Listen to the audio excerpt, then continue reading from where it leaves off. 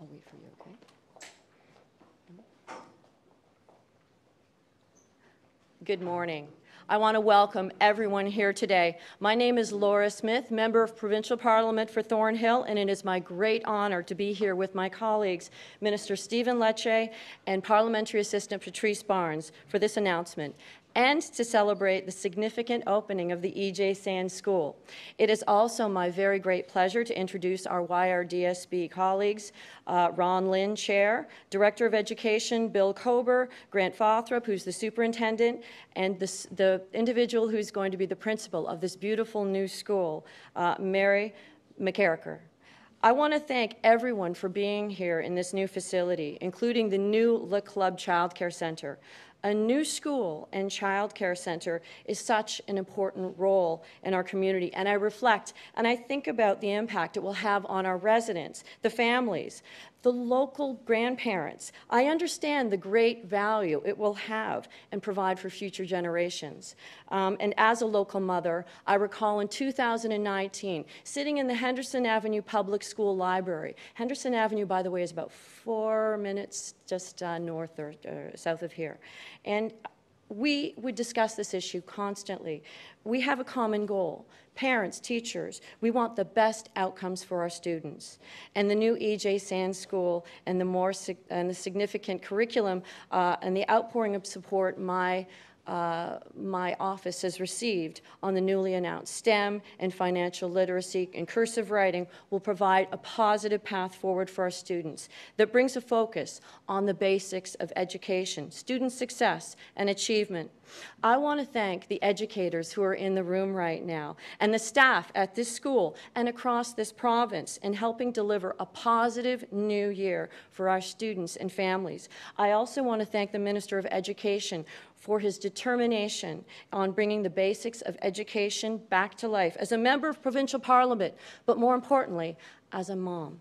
Thank you, and I will now pass the uh, microphone over to Minister Stephen Lecce. Well, thank you very much. Good morning, everyone. It's uh, wonderful to be here. Uh, indeed, it is a positive day as we celebrate the opening of a new school and for, for the people of Thornhill, for young people in the province. I want to thank uh, Laura Smith, who's been a very hardworking member, very proud MPP, working hard to make sure that young people in this community, like in every community, have access to a modern school. And it is exciting. I do want to thank the principal, the entire leadership team who will be commencing a new school and a new year, and it's something we should all look forward to. I want to give uh, thanks to the chair and to the director of education, as well as the entire team here at EJ Sands Public School. Of course, a special thanks to Patricia uh, DeGuire, the Chief Commissioner of the Ontario Human Rights Commission, as well as Jennifer Holmes Wire, who's the President CEO of Junior Achievement, both of them for joining us today. Now, as students head back to class, we want parents to know that we are listening to your priorities, and the first of which is to make sure that your kids stay in class all school year. Now, last Friday, we were able to sign a tentative agreement with the Ontario Secondary School Teachers Federation on a process that keeps students in class ends the threat of strikes provincially and locally, ensures stability for your children. This means students in English speaking public high schools will be able to learn in class without disruption for the next three years should that agreement pass. We put students first by offering a, to continue negotiating for a specific period of time, and all remaining items after that time would be sent to binding interest arbitration, ensuring continuity of learning and peace and stability and a positive health of your children.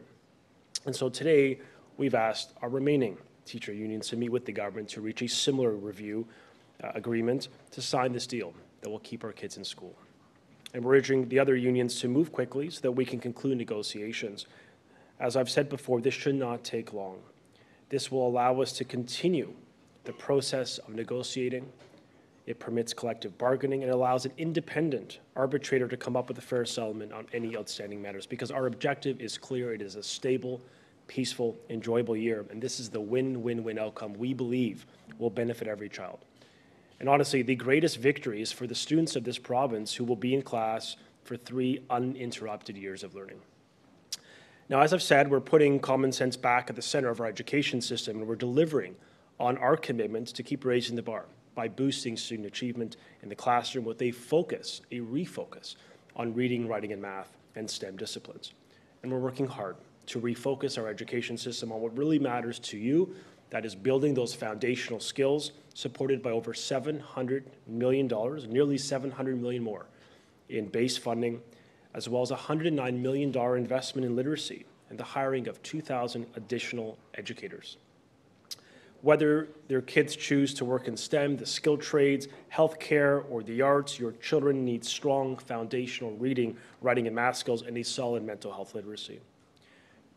You know, parent want, parents want to know that their children are learning and improving and being prepared for future success. And they are rightfully concerned when their uh, child's school or school board is be lagging behind on EQAO results and other key performance indicators.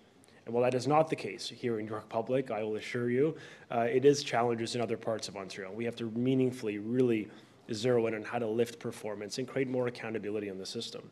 It's why we're requiring every board for the first time starting this year to measure progress, publicly report on outcomes in key areas, and that includes the achievement of learning outcomes in core academic skills. Essentially, a strategy to lift EQAO results on reading, writing, and math. Secondary component is on preparing students for future success. That's to improve student graduation rates, the percentage of students participating in job skills programs and senior math and science courses. We will be measuring those data points. And finally, the third component deals with student engagement and well-being, and that is really to improve student attendance in school and their awareness of how to navigate for mental health supports. These standardized metrics will help school boards uh, really focus those boards on student achievement. It will help parents hold boards to account for their education, and it really will help support students most to improve their maths marks, which is why we're investing over $71 million in a new math strategy.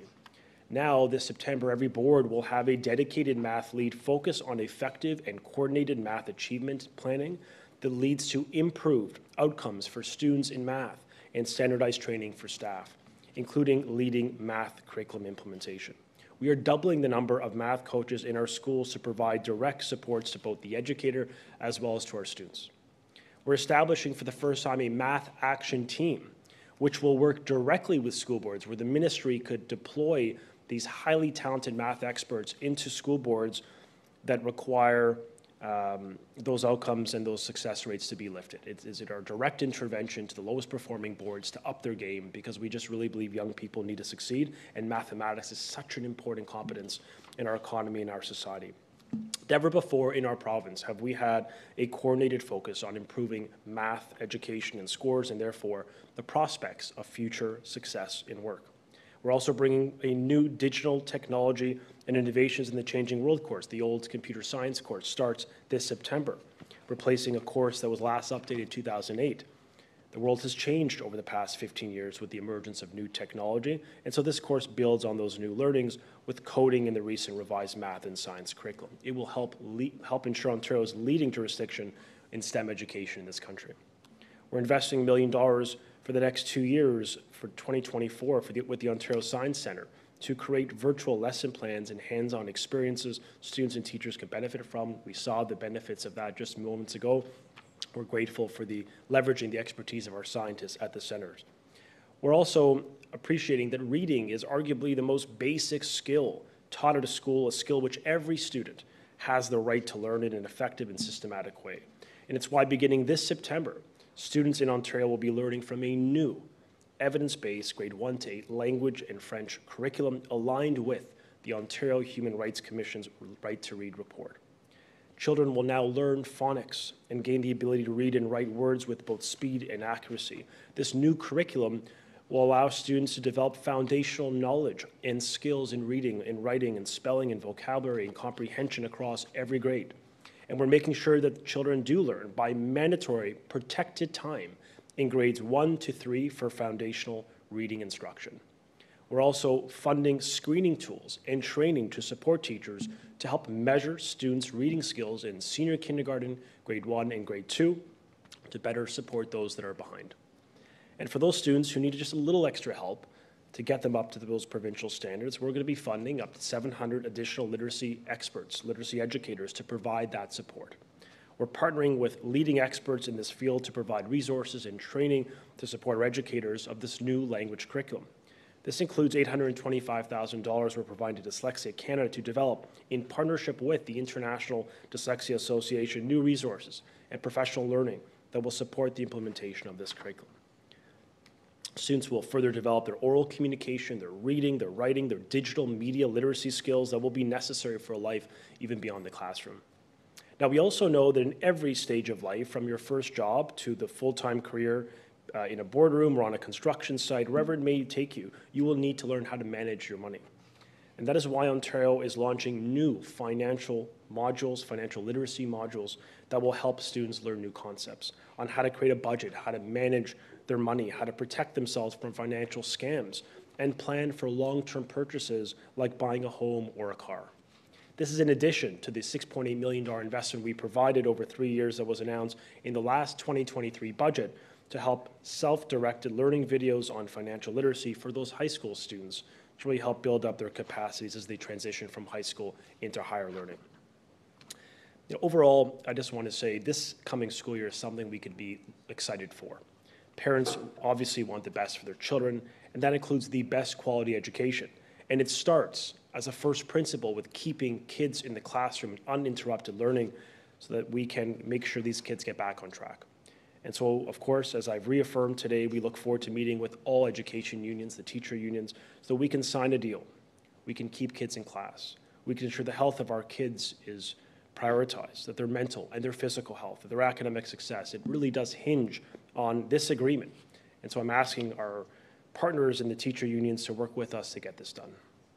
We look forward to a positive year with new accountability on school boards, a modern curriculum, 2,000 additional educators, and almost 700 million additional dollars when compared to last year in our base funding to help ensure it is a year of success and learning. So thank you uh, for this opportunity to preview what is uh, new for the coming school year, and I want to turn it over to the hardworking parliamentary assistant, Patrice Barnes. Thank you so much.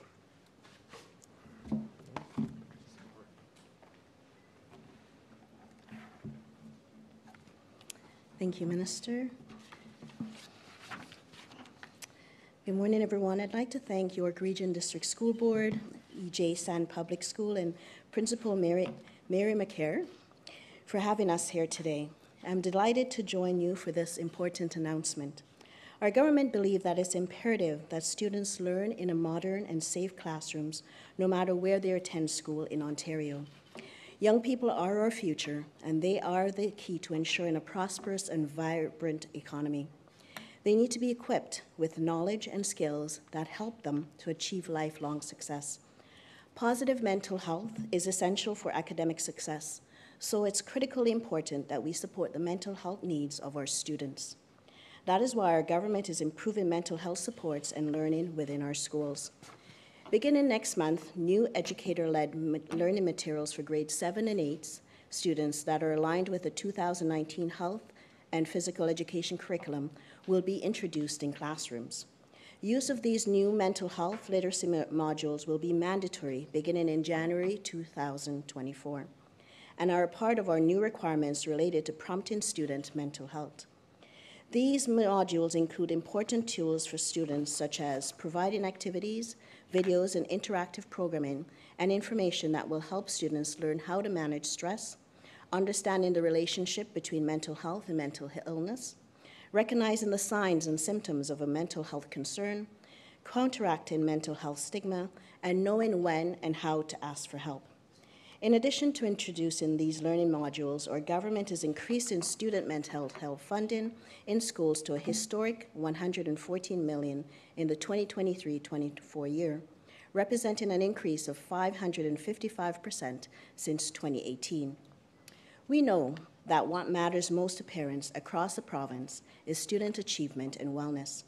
Our government will continue our commitment to parents with new measures that will better refocus school boards on academic achievement and the development of life and job skills. Though the recently passed, through the recently passed Better Schools Student Act, better known as Bill 98, our government will continue delivering on our commitment to improve student achievement. The Act lays the groundwork for a truly world-class, high-performance education system that will enable students to reach their full potential and, and prepare them for future successes. It would also improve accountability and transparency in our publicly funded school system, strengthen governance and leadership, and help to build modern schools faster. It will improve teacher training and education oversight, ensuring consistent approaches to student learning and parent engagement. As we prepare for a new school year, we're getting our students back to the basics with enhanced mental health learning and a focus on reading, writing, and math, so that our students will have the skills and tool that they need to be successful now and in the future. Thank you for the opportunity to address you today. I'd like to pass the mic over to uh, the Chief Commissioner of the Ontario Human Rights Commission, Patricia DeGuire.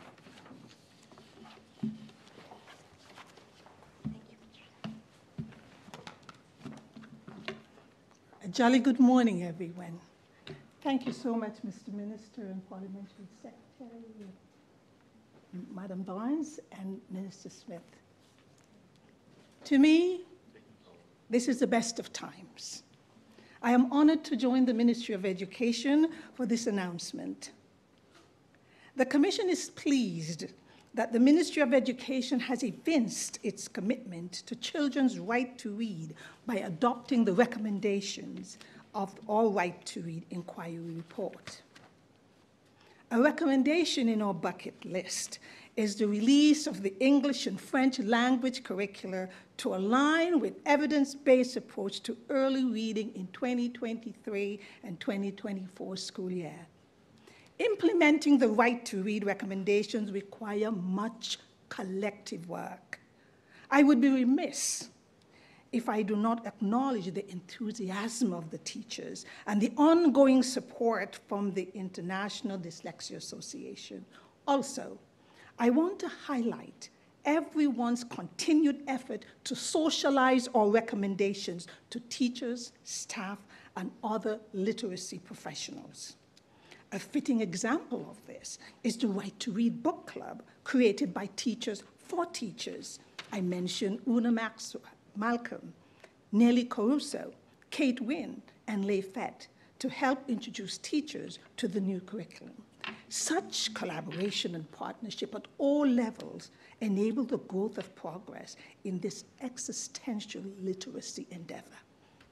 Thank you so very much for engaging so fully on the right to read report and believing, as we do, that the right to read is not only an essential human right, but also a universal tool for the empowerment of people.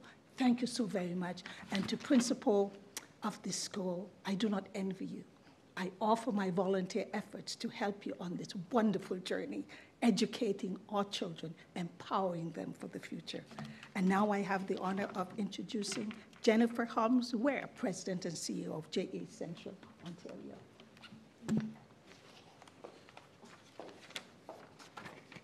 Thank you very much and good morning, Minister and guests. Thank you for the opportunity to join you here at the remarkable new EJ Sand Public School.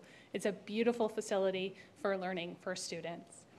At JA, we equip young people with the life, employment, and entrepreneurship skills they need right now and in the future.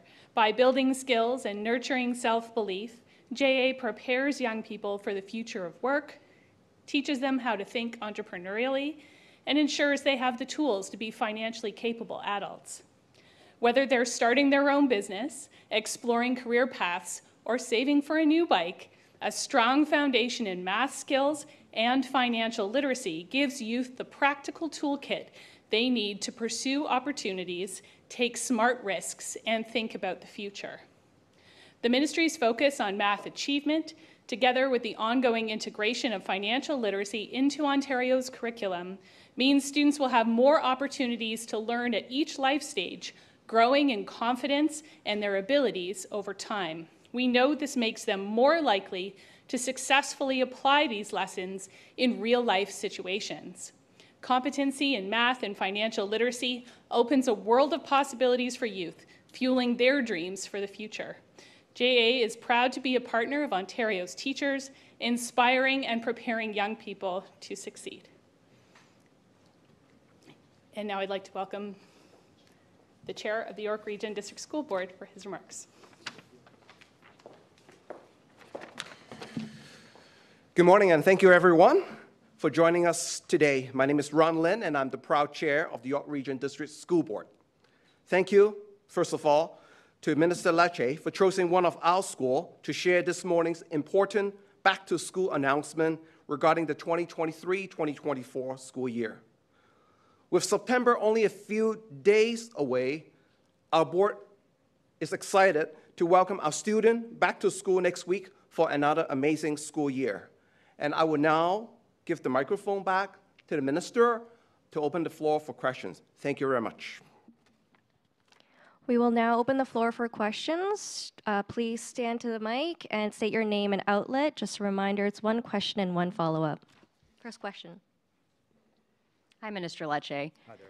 Uh, I'm wondering, uh, in the 2,000 new educators you say are going to be available, how many have actually been hired, whether it's the math coaches or literacy-specific educators? Yeah, so there's uh, roughly 700 new literacy educators that school boards will be hiring for the coming school year. There's 300 additional math educators, doubling of the math coaches, and roughly 900 to 1,000 educators really focused on uh, those de-stream courses from grade 7 to 10. School boards are, of course, the employer, they're the ones doing the hiring, uh, but I can assure you, uh, you know, they're working very hard to make sure that they've got the right staff in place to intervene. The overarching strategy here is get back to basics. There's a reason why those 2,000 educators are almost entirely focused on getting back to the basics, strengthening math, and literacy competencies in the classroom. And so we've got new expectations, binding expectations on school boards. We have new supports in the classroom. We have a modern curriculum with new financial literacy resources, a new literacy curriculum that follows the precise advice of the Ontario Human Rights Commission when it comes to reverting to phonics and the inclusion of cursive writing and evidence-based instruction. So we're looking forward to building capacity and getting these kids back on track.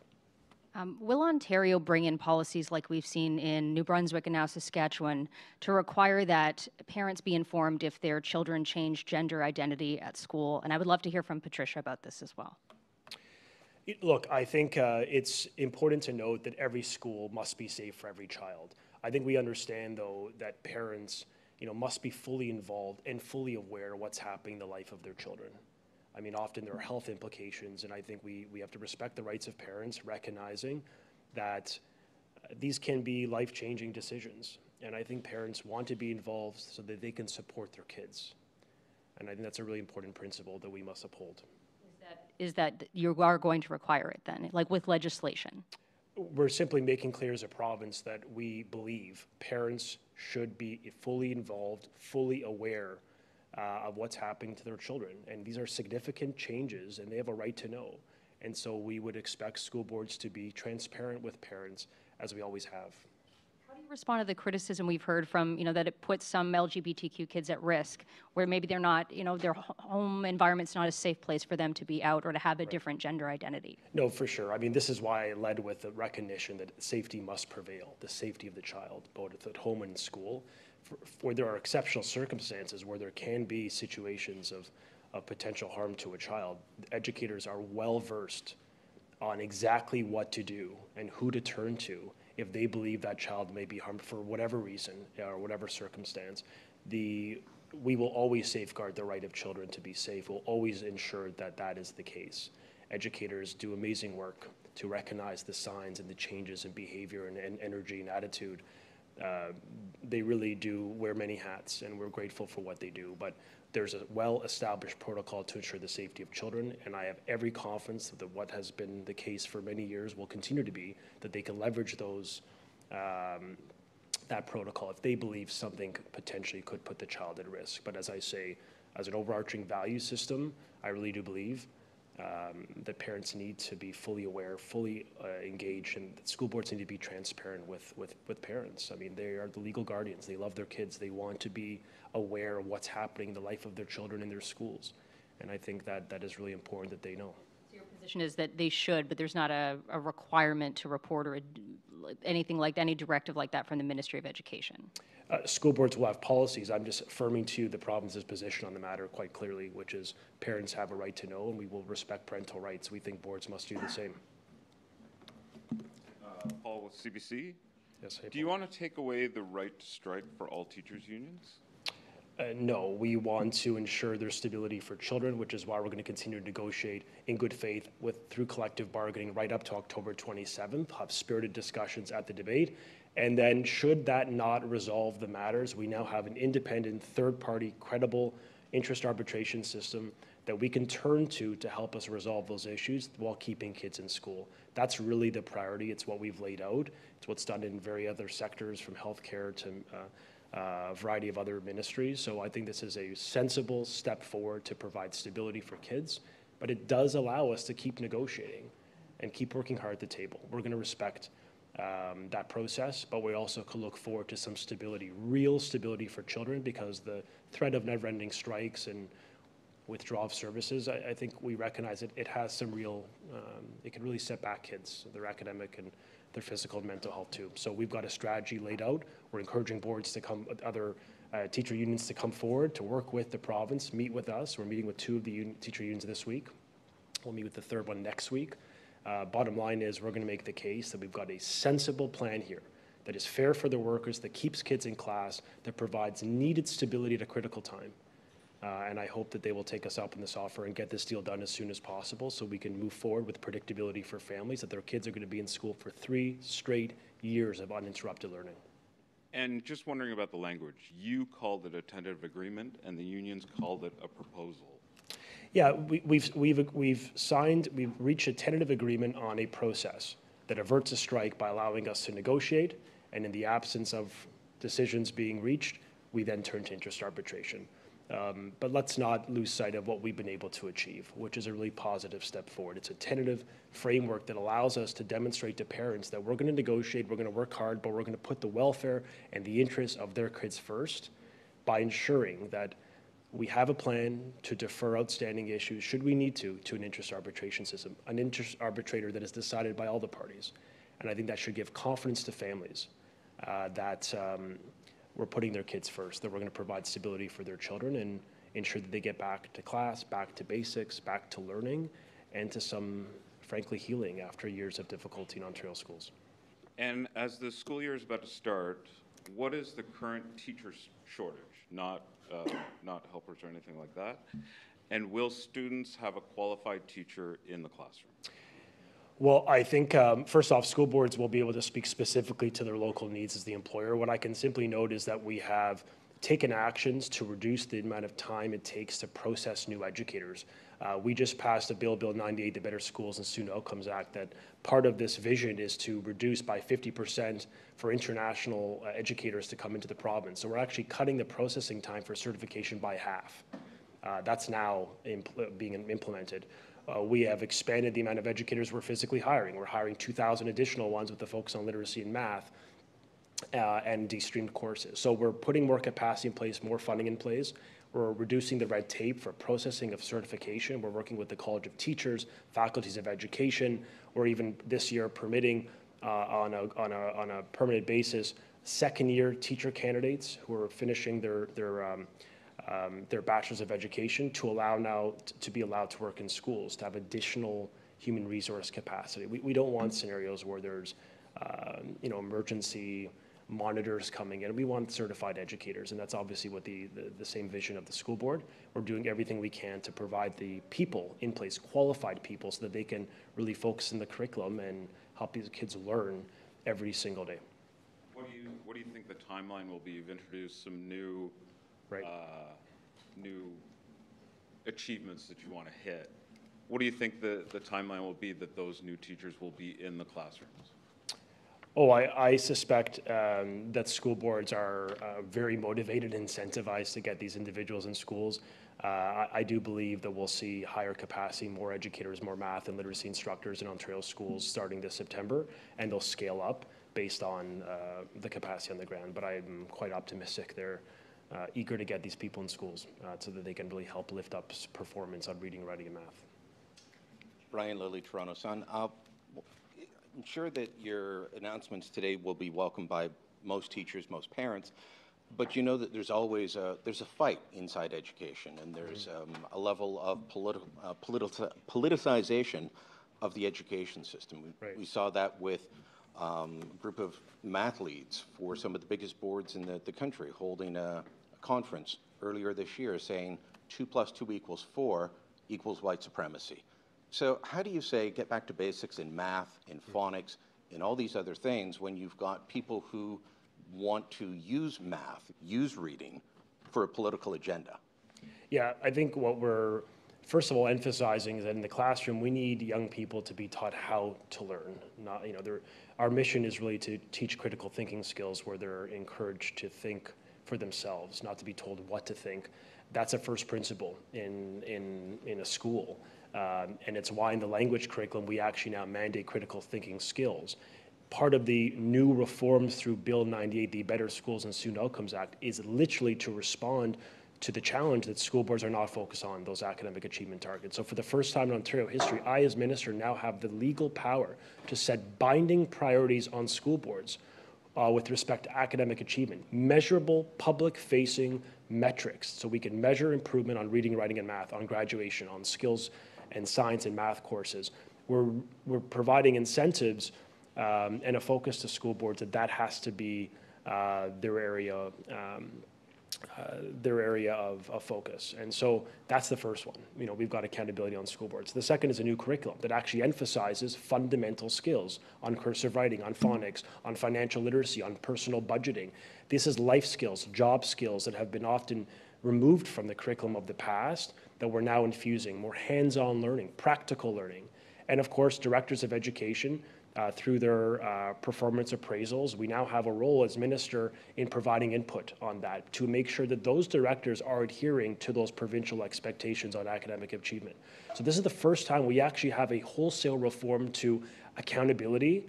We're putting new resources in place, and we're sending a clear, unambiguous signal to the education system that we need to get back to basics. We need kids to learn fundamental skills. And the EQAO data proves a very real problem, which is kids have regressed on those skills. And therefore, our priority this September and every September has to be academic achievement. And we will hold school boards to account to ensure that they do that. Back to uh, what Siobhan was asking you about regarding uh, the gender issues. The Toronto District School Board's current policy says a school should never disclose a student's gender nonconformity or transgender status to the student's parents, guardians, or caregivers without the student's express, explicit prior consent. This is true regardless of the age of that student. So a four-year-old could say something to a teacher, and suddenly their, their names change, their genders changed at school. Parents are forbidden from finding out. Right. Um, why wouldn't you make it a, a policy uh, the way Saskatchewan and New Brunswick have? Uh, there's an Angus Reid Institute poll out today saying 77% in Ontario uh, back this idea that Yeah. parents should be informed. Well, I think what I'm communi- communicating clearly is that as a province, we believe parents must be fully aware. Uh, we can have situations where information is being withheld from a, from a parent. We think that transparency is a strength. So we're sending out that clear message, uh, and we're also reaffirming the importance of the right of parents to support their kids, to help their children. Um, and I think that's really important that they are aware. So uh, with that said, obviously our priority remains uh, making sure that school boards get back to basics. Uh, it's why we've tried to make the case to school boards through now law and regulation that there must be binding focuses on student achievement, on academic success, on the back to basics emphasis. If we do that, we keep parents more informed. We've empowered parents through this bill to now be consulted on their priorities at least twice a year. Um, this is the cultural change I think parents want to see in Ontario schools, a refocused, more accountable, more disciplined, and frankly, um, with a greater emphasis on, uh, on foundational skills. And I think that's a really important thing we can do for Ontario families.